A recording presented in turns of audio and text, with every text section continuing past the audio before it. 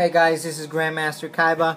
Today I'm bringing you the Almighty Warrior, the Buster Blader. And look at this effect, it says the attack of this card increases by 500 points for every for every dragon type monster on your opponent's side of the field and the graveyard. So if you have a lot of dragons on the monster, uh, this card could basically become insanely powerful. And uh, you do have to sacrifice two monsters. And if you remember Yugi used this card uh, to hold off Slifer the Sky Dragon in the Battle City tournament.